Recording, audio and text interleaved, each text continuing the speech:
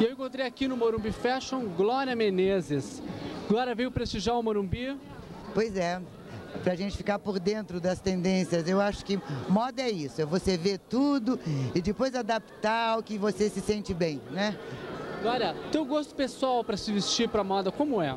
Ah, eu sou muito esporte, eu não tenho muita preocupação em ficar muito sabe, chique, não. Eu, eu boto que, me, que eu me sinto confortável e gosto muito de calça comprida, no inverno eu uso muito couro e bota e, e jeans, entendeu? Eu sou muito, muito pra esportiva mesmo.